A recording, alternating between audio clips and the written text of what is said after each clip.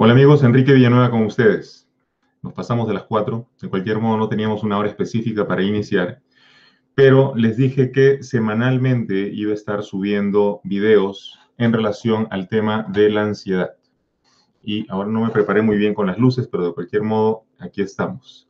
Y eh, el día de hoy eh, quiero hablar de eh, cuatro cosas que es fundamental que ustedes tengan en mente a la hora de enfrentar a la ansiedad. Cuatro cosas que debes saber para definitivamente ganarle a este problema. Así que eh, gracias por estar ahí. Veo que ya se van sumando más personas al grupo. Y lo que vamos a hacer es eh, ir aclarando cada uno de estos puntos. Así que eh, saludos Patricia, Graciela, que ya se conecta por ahí, y a todos los que están en el chat, muchas gracias. ya saben que ustedes pueden colocar la palabra pregunta en el chat y de esa manera puedo yo en algún momento responder si es que nos da el tiempo de hacerlo, ¿sí? Saludos Roberto, saludos Adi Aguilar, Daniela Gracia y todos los que están aquí reunidos. en algún momento vamos a hablar acerca del tema del litio, ¿ok? Pero ahora nos vamos a enfocar en este tema. Voy tomando nota de las preguntas que ustedes ponen allí y en algún momento vamos a desarrollarlas como un, un tema completo. El día de hoy entonces cuatro cosas que debes saber para ganarle la ansiedad. Empecemos entonces con la primera, ¿sí? Quiero que presten atención. Es muy importante que ustedes entiendan que eh, los síntomas de la ansiedad son variados. Ese es el primer punto que debes saber. Los síntomas son variados. ¿Por qué eh, me lanzo a, asegurar esta situación? Cuando ustedes me, me, escriben preguntas, muchas veces me dicen, este, tengo un zumbido en el oído desde la ansiedad. Eh, tengo una sensación extraña en el cuero cabelludo, como que me pica o, constantemente siento este escosor allí. Otros me dicen, siento electricidad bajando por mi cabeza y el cuello. Otras personas dicen, siento que la garganta se me cierra. Siento que se me nubla la visión. Siento eh, picazón o sensación de electricidad en la piel en cierta área de mi cara. Siento que eh, no puedo hablar bien o no me entra suficiente aire o como que se me cierra el pasaje del aire. Otros de ustedes sienten peso, presión sobre los hombros, otros sienten el pecho que se les cierra y así podemos ir describiendo cada parte del cuerpo con los diferentes síntomas, con la variedad de síntomas que ustedes dicen experimentar. Ahora, cada vez que ustedes tienen algunos de esos síntomas, me preguntan, ¿es esto que estoy sintiendo ansiedad? Estoy experimentando los pies y las manos frías estoy sintiendo este, de la rodilla para abajo adormecido, estoy experimentando bla, bla, bla. Si tú ya fuiste a revisarte con un doctor, si el doctor al examinarte te ha dicho que no tienes absolutamente nada, yo te voy a decir que lo más probable es que sí, eso que estás experimentando es un síntoma de ansiedad. Y tú me dirás, pero ¿cómo va a ser? Es tan extraño ese síntoma, es tan raro, no he escuchado que nadie lo tenga, es único. No, no es único aun cuando tú quieras pensar que tus síntomas son nada más tuyos y que nadie más los tiene y que tu problema es muy especial y ningún doctor te va a entender, en realidad lo que tienes es ansiedad, es bastante común. Mucha de la gente que padece ansiedad tiene probablemente tus síntomas, lo que pasa es que no habla de ellos.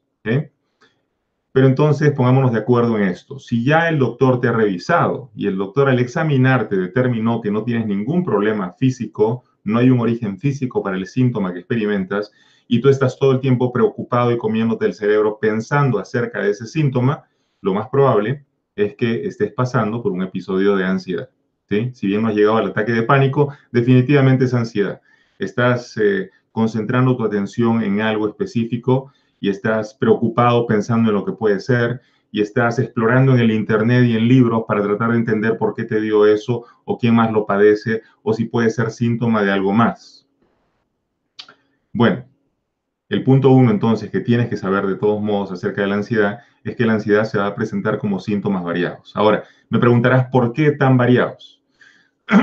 Pensemos en esto. Disculpen que todavía estoy saliendo de la tos.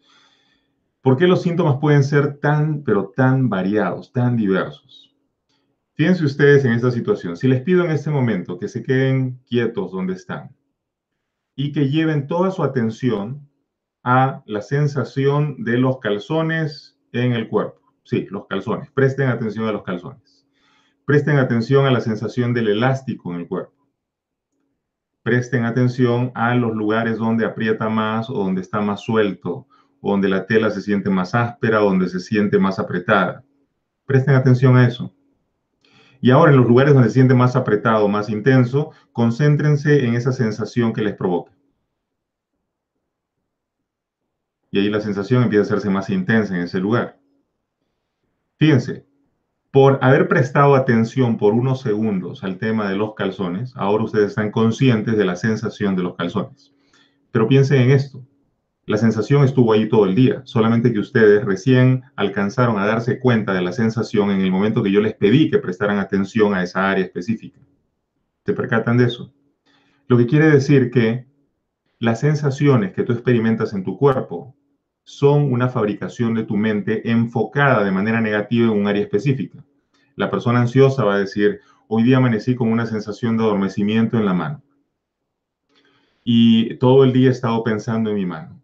Y cada vez que la muevo así, siento una cosa rara en la mano. El doctor te va deja de moverla así, pues, pero tú sigues buscando la sensación, sigues llevando toda tu atención a esa sensación. Y cuanto más atención le prestas, más intensa se hace la sensación. Si ahora ya no nada más está ahí, sino que es dolor también. Siento dolor en este lado del dedo. Te das cuenta, cuanto más atención pones, más llevas toda tu energía en esa dirección y es como que quisieras que algo se manifestara. Y tú a propósito estás creando una condición que no existe lo haces de manera inconsciente. Tu temor te lleva a manifestar eso, te lleva a manifestar un síntoma adverso y te lleva a agudizarlo por el hecho de que toda tu energía va en una sola dirección ahora. Es casi como si te estuvieras hipnotizando para sentir esto de manera más intensa. Tú lo estás haciendo, nadie lo está haciendo por ti. De ahí que los síntomas sean tan variados, porque tú te puedes fijar en lo que te dé la gana. Algunos de ustedes se fijan en que tengo calor en los oídos y no puedo dejar que los oídos se pongan calientes. Y mira, cada vez se ponen más rojos. Claro, porque estás llevando toda tu atención a los oídos y cuanto más atención les das, más energía fluye hacia ahí. Incluso estás llevando la corriente, el torrente sanguíneo a las orejas. Y tú dirás, yo no tengo control en mi circulación. Te equivocas. Tu subconsciente sí tiene control. Entonces, ahí donde llevas tu atención, hacia ahí llevas toda tu energía. Y eso es lo que has estado haciendo. Y por eso has multiplicado los síntomas de la ansiedad. Y por eso ahora parece que los síntomas se manifiestan de, manera, de maneras tan extrañas, tan variadas. Me puedes decir que es tu estómago. Me puedes decir que tienes una sensación que pulsante en los intestinos. Me puedes decir que sientes adormecimiento nada más en la cintura, a la altura de cierto lugar bueno, si ya te analizaste, te estudiaste con el doctor y no tienes nada, lo más probable es que tu obsesión con esa área esté llevándote a manifestar el síntoma de ansiedad en relación a eso en lo que te estás concentrando. Es tu mente. Es tu mente concentrada de forma negativa en eso. Tenemos que entrenar entonces nuestra mente para salir de esto, ¿sí? Entonces, si ese es el punto primero, si hemos dicho que hay cuatro cosas que debes saber, esta es la primera. Tienes que saber que los síntomas son variados y que tu mente es la que los está fabricando por enfocarse de esa manera en el síntoma. Y cuanto más te enfoques en eso, más te va a fastidiar porque tú estás llevando tu energía a eso. En este caso, ¿qué puedes hacer? Puedes empezar a dejar de prestarle atención al síntoma. Sea un síntoma físico o sea una obsesión en tu mente, tú puedes dejar de prestarle atención. ¿Cómo? Hay algo que yo sugiero, ¿ok? Y yo sé que muchos psicólogos no lo van a sugerir, pero yo he visto que funciona muy bien con mis clientes. Si no te sientes cómodo para hacerlo, no lo hagas. Pero si te sientes cómodo para, para seguir esta pauta, hazlo. Por ejemplo, si yo estoy diciendo, eh, mi mano se siente rara cuando hago así. ¿Ok? ¿Qué pasa si la hago un poco más? Si la doblo un poco más, o el dolor se siente más fuerte y se va hasta acá. ¿Y qué va a pasar? Yo creo que tengo algo ahí. ¿Qué cosa tengo? Fíjense, no me estoy deteniendo solamente con que tengo algo ahí y no quiero saber qué tengo, sino qué cosa tengo. Y mi mente va a invertir, oh, es que tienes un problema de artritis que se va a hacer más fuerte. Ok, ¿y qué más tengo ahí? ¿Qué va a pasar? O es que la artritis se va a hacer deformante y después se te va a deformar la muñeca y se te va a deformar la mano. ¿Y qué más va a pasar? Y después la artritis se me va a extender por todo el cuerpo. ¿Y qué más va a pasar? Dime qué más va a pasar. Acuérdate que estás haciendo hablar a tu mente negativa, esa mente que está enfocada en la muñeca y que después la artritis se va extender por todo mi cuerpo y me voy a quedar retorcido y, sin poder este, moverme. ¿Y qué más? Dime qué más va a pasar. Y después me voy a quedar paralizado en una silla. ¿Y qué más? Y me voy a pasar los años en una silla y con dolor y sin poder moverme. ¿Y qué más? Y, este, me va a dar pena que la gente tenga que atenderme así. ¿Y qué más? ¿Qué más va a pasar? Dime, ¿qué más? Y voy a terminar muriéndome así todo este, doblado y sin tener control en mi cuerpo. ¿Y qué más? Nada más, ya me morí. Entonces ahí se acabó la historia. Perfecto. Me perdono por haber pensado toda esa basura que no es verdad. Y dejo ir esta historia ahora. Mi mano se siente así porque estoy forzando, le estoy enfocándome en eso, la sensación se va a ir, me voy a enfocar en otra cosa ahora. Voy a enfocarme en leer.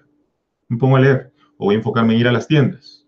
O voy a salir a jugar con el perro. O voy a hacer otra cosa. Pero fíjense que primero lo que hice fue tomar la esponja de mi mente que estaba llena de esa basura, de esa obsesión con la mano, exprimirla por completo a través de las preguntas. ¿Qué más? ¿Qué más? ¿Qué más? ¿Qué más? Hasta exprimirla toda. Cuando ya no tuvo nada más que decirme, entonces la dejé por ahí y me fui a enfocar mi atención en algo más. Y estoy llenando mi mente con otras cosas. Con bañar al perro, con salir a las tiendas, con llamar a mi amigo, con irme al cine, no sé, pero mi mente ahora ya no está obsesionada con esa idea, sino que estoy primero exprimiendo toda la idea, sacándole toda la información negativa que tiene y luego llenando mi mente con otra cosa, con algo positivo, con algo que me entretiene, que me hace sentir bien.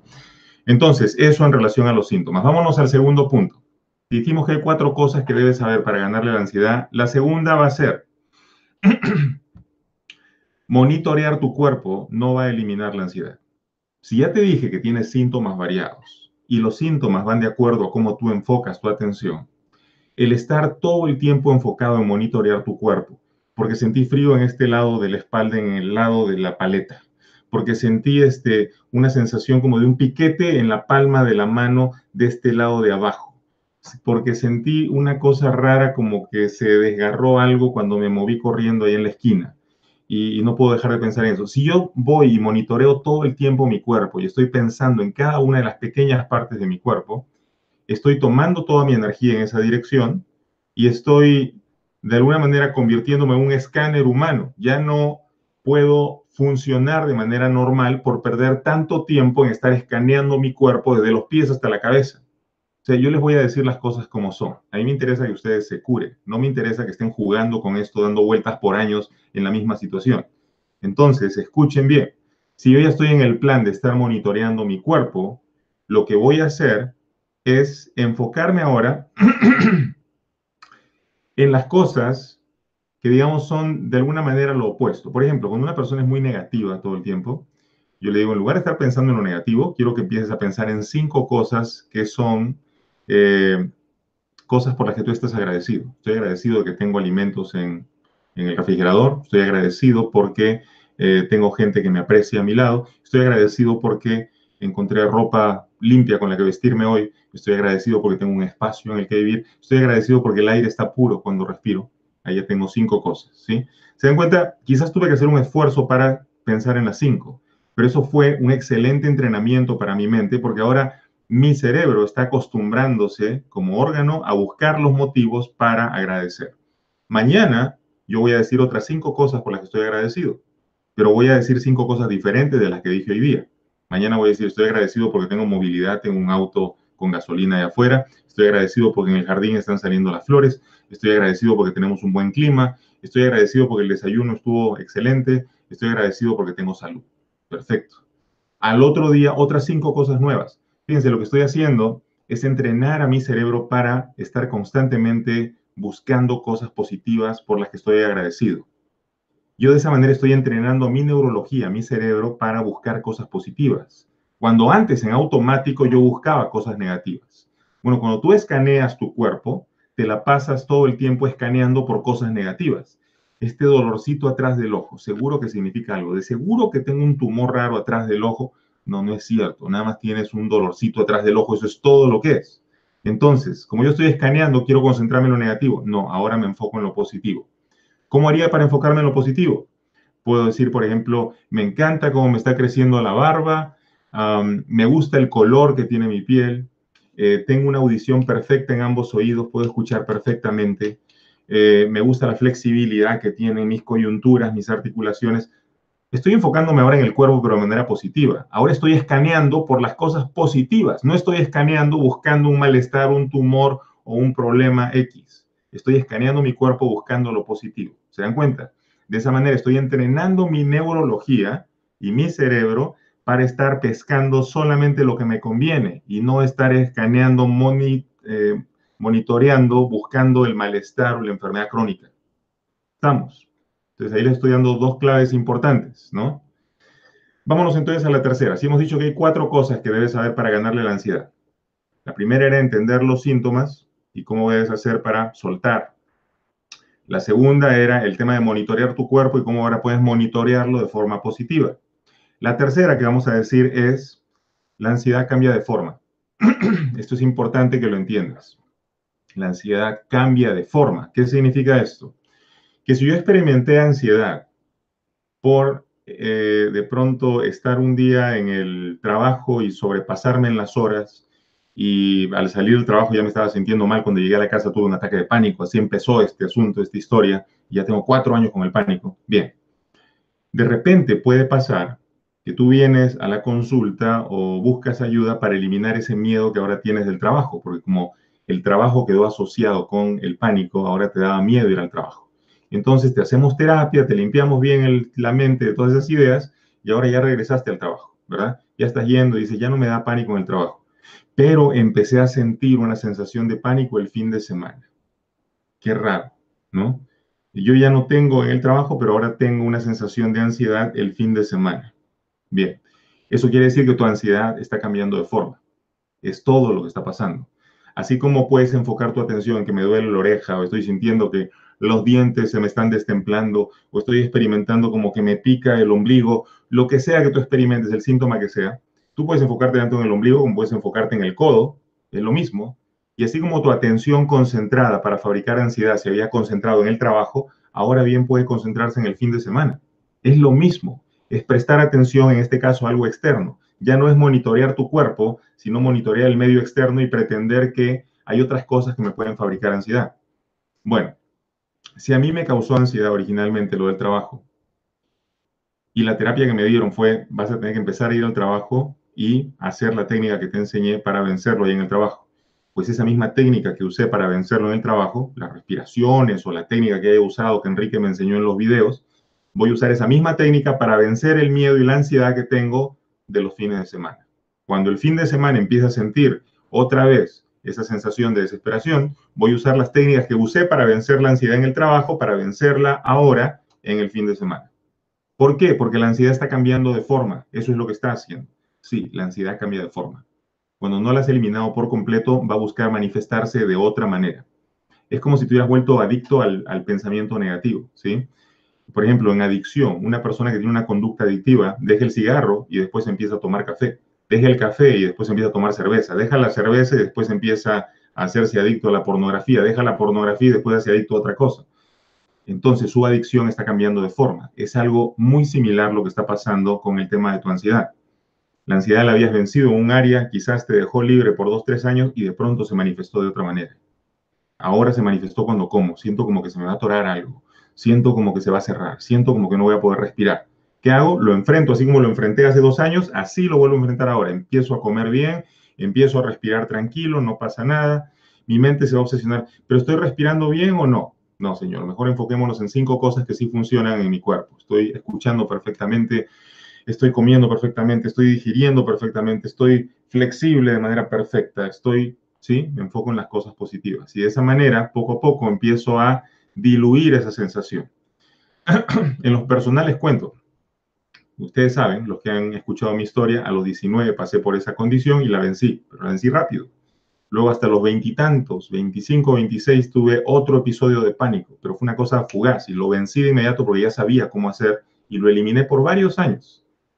Varios años después hubo una sensación extraña, y escuchen esto, porque algunos de ustedes se van a identificar empecé a sentir una sensación incómoda en las piernas. Las piernas como que se querían este, mover, se torcían, tenía que ponerle un pie encima al otro pie. A la hora de dormir era incómodo, tenía que estarme cambiando de posición porque el pie no lo podía dejar quieto y una sensación desesperante.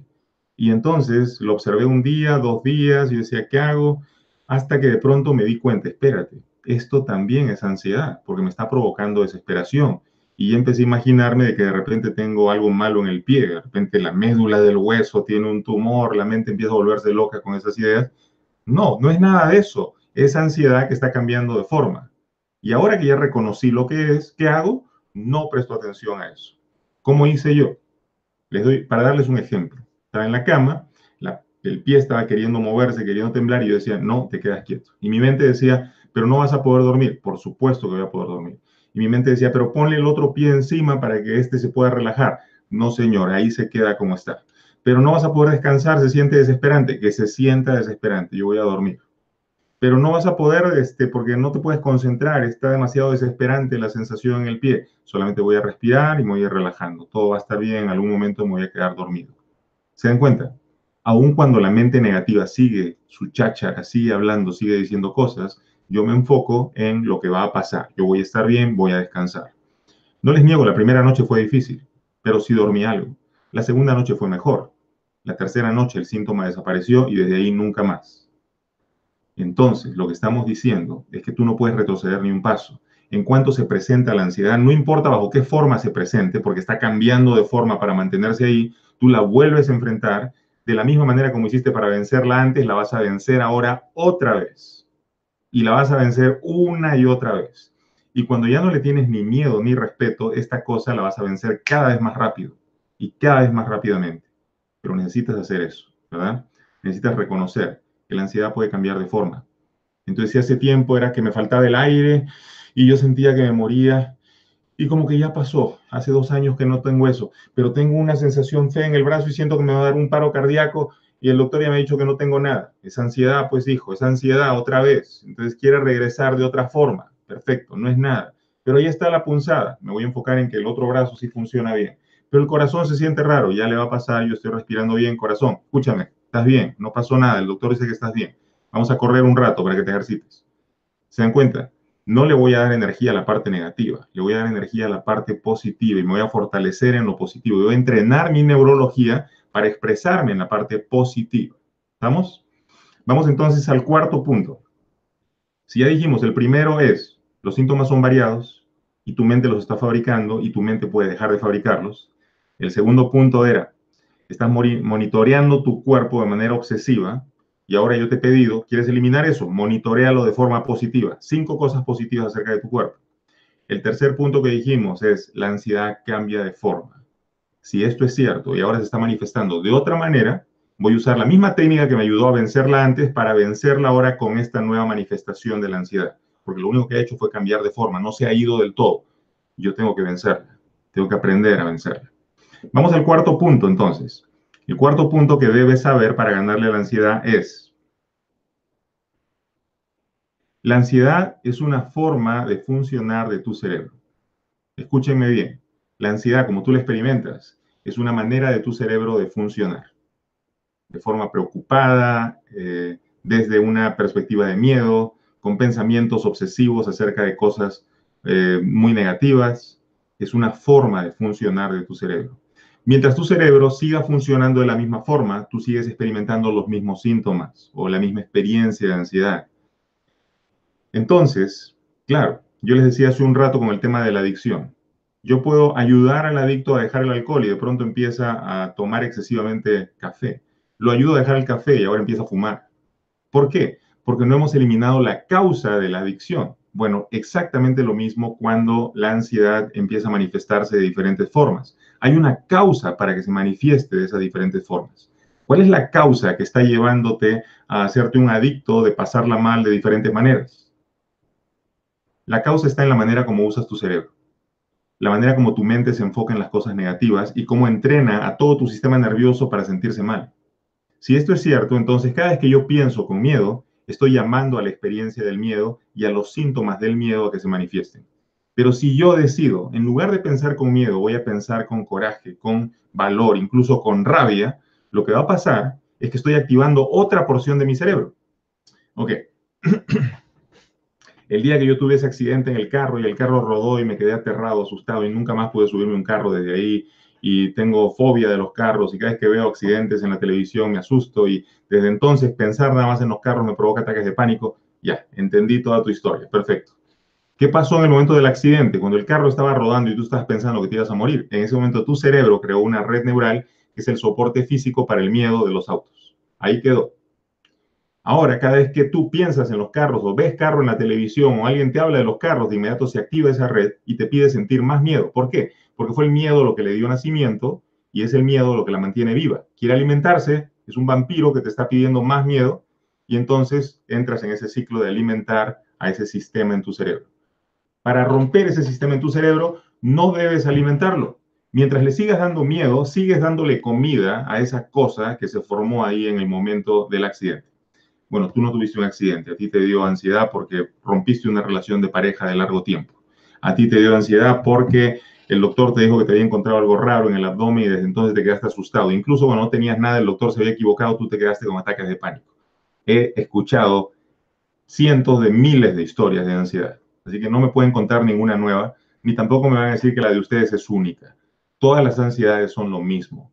Todas parten del pensamiento de miedo. Todas generan una neurología en tu cerebro y todas proyectan una fisiología, unos síntomas. Así que no me vengas con el cuento de que la tuya es especial o única, porque no lo es. Tu ansiedad no es única. Ni tampoco te estás volviendo loco, ni te estás muriendo.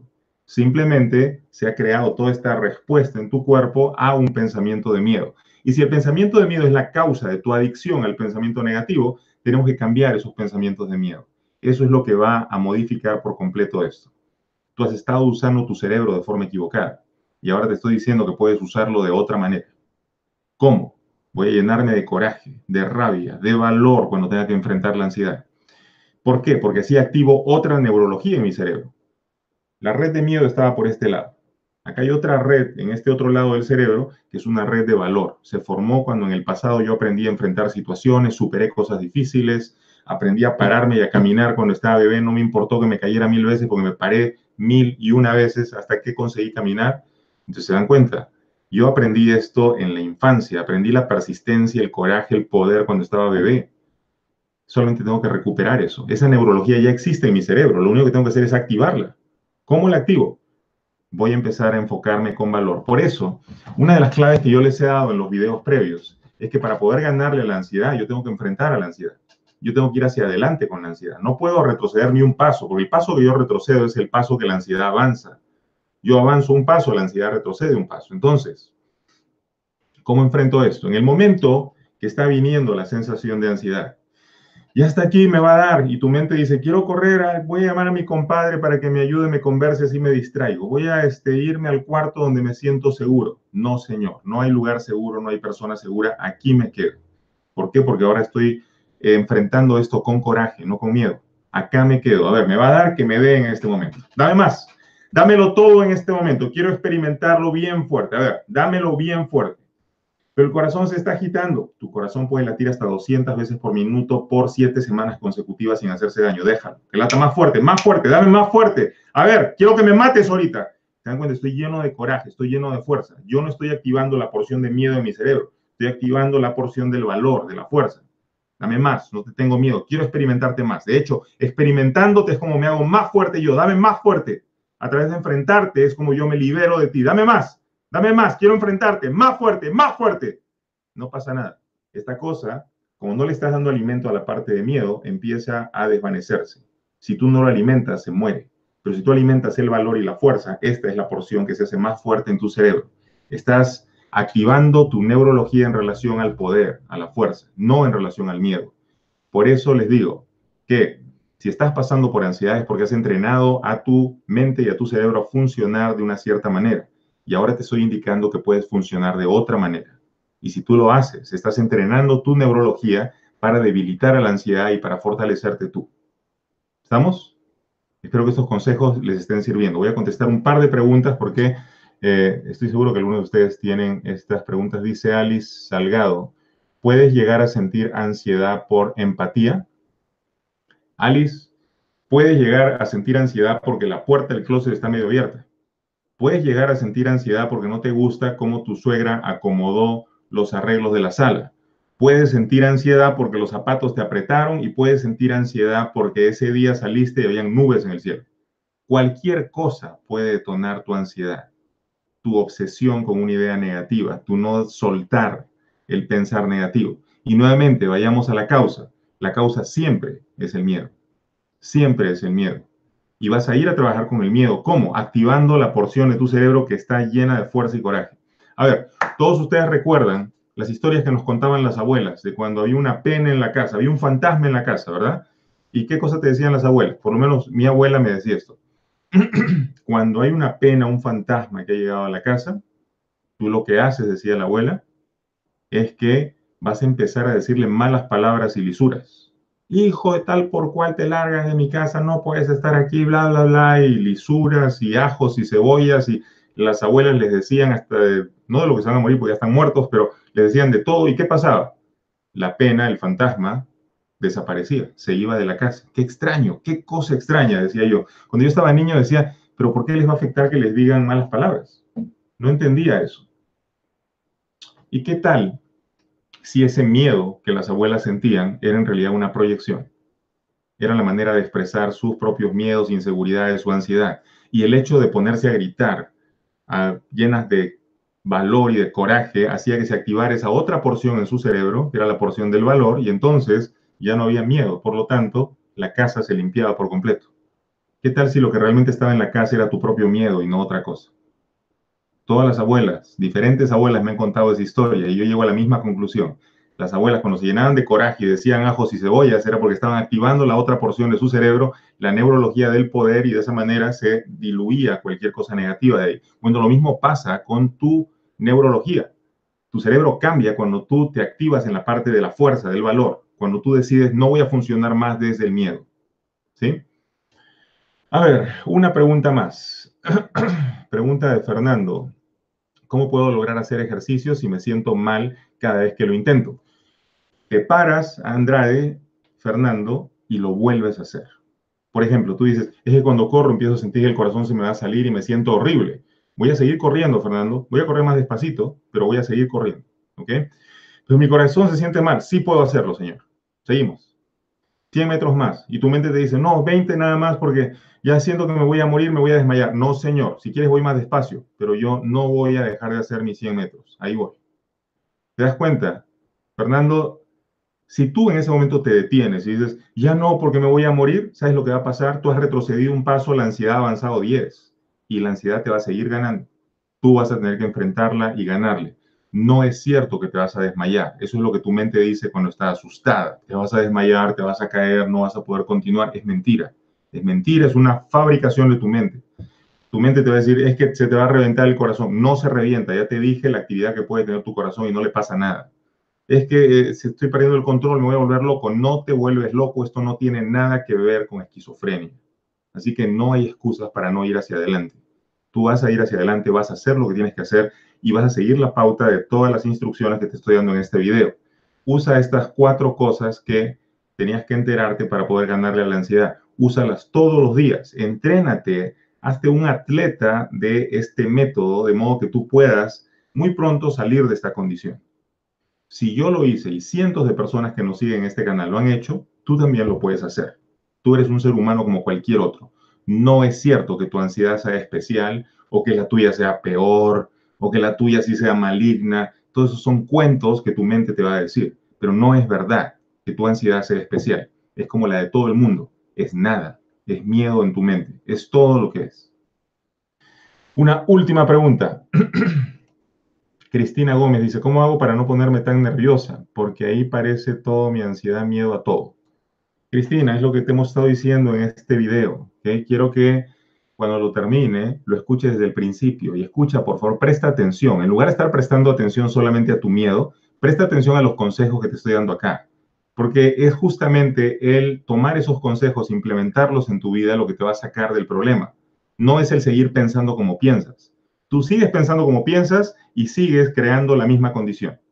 Empieza a pensar como te enseño y vas a poder salir de esto. ¿Sí? Nikki Alanis, la última, a ver, dice Enrique, ¿por qué de repente me dan palpitaciones sentada, acostada, o estando tranquila, o haciendo actividad en la noche? Me da un sueño terrible, cierro los ojos, siento que me caigo a un vacío y bla, bla, bla, bla, bla. ¿Por qué te pasa eso, Nikki? Porque tienes ansiedad, amiga. Porque tienes ansiedad. Aunque, ahora, el problema no es que te dé en esos diferentes lugares. El problema es que te da miedo cuando te da en esos diferentes lugares. ¿Sí? Nikki, escúchame tú te vas a curar no porque te corras de la ansiedad, te vas a curar porque corres hacia la ansiedad y porque tú quieres que te pase. Entonces yo voy a ver la televisión, estoy tranquilo y digo, ojalá que me dé ahora, Señor. Quiero que me dé. A ver, hoy día quiero experimentarlo para hacerme más fuerte todavía. Entonces cuando estoy viendo la televisión y me agarra, digo, ya está, a dame más fuerte, dame más, más fuerte, mátame ahorita, mátame. No pasa nada, sigo viendo mi película. Al rato estoy cocinando y de pronto siento las palpitaciones. Ahí está la ansiedad, me quiere dar de repente es porque estoy cocinando, tengo que irme de la cocina. No, señor, acá cocino, voy a terminar de cocinar y tú sabes qué, tienes un minuto para matarme, porque si no tienes que dejarme cocinar. Más fuerte ahorita, más fuerte, más fuerte. Dame más fuerte ahorita.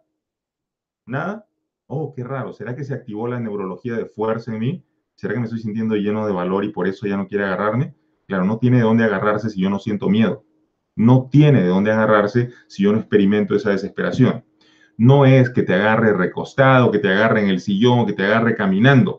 Tú la agarras ahí donde tú estás. No es que ella te está buscando. Tú la buscas a ella, tú la enfrentas y tú le ganas. Así es como vas a poder curarte de esto. No te vas a curar de esto porque le corras o porque le tengas miedo. Más claro que eso, no se puede, o por lo menos hasta este video. En el próximo video de repente lo hacemos un poco más claro todavía. Les agradezco por su atención. El día de hoy hemos hecho ya más de media hora de esto y probablemente antes de que termine la semana voy a volver a hacer otro video acerca de ansiedad, siempre con consejos para ayudar a que ustedes puedan superar esta condición y por supuesto tratando de responder a las preguntas que ustedes tienen aquí en el aire. Así que, por favor, por favor, si todavía después del video están asustados es porque ustedes no han escuchado bien lo que les he estado diciendo. Presten atención, apaguen un rato, respiren, prendan otra vez el video y escuchen con detalle los consejos. Les estoy dando consejos que funcionan. Si ustedes lo hacen, como les digo, ustedes van a superar la condición. No piensen como pensaban antes y pretendan que van a conseguir un resultado diferente. Piensen diferente y ahora van a conseguir un mejor resultado. ¿Estamos? Les agradezco entonces y será conmigo hasta que nos volvamos a ver. Si no se han suscrito al canal todavía, abajo en el cuadro de suscripción le hacen clic y luego en la campana. Cuando ustedes hacen clic en la campana, YouTube les avisa cuando nosotros estamos en vivo para darles esta información. ¿Sí? Esto es el coach que les estamos dando para ayudarlos a salir del trastorno de ansiedad. Me interesa que toda la gente que padece esta condición pueda curarse porque somos millones en el planeta y no es justo que se viva con miedo. Vivir con miedo no es vivir, eso es sobrevivir. Y a mí me interesaría que ustedes puedan vivir plenamente, que ustedes se sientan liberados, de verdad.